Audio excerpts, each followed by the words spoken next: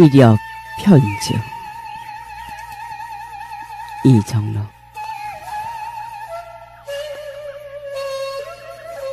선역해 설빛 기울적.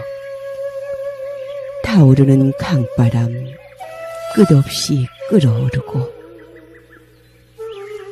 흥건한 흰 속살 부풀어 은백 치마 겹겹이 들썩거리니 환장한 꽃사태.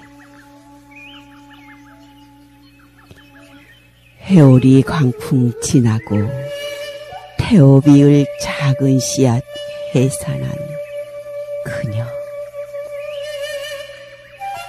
넋두리운 서러운 낙화의식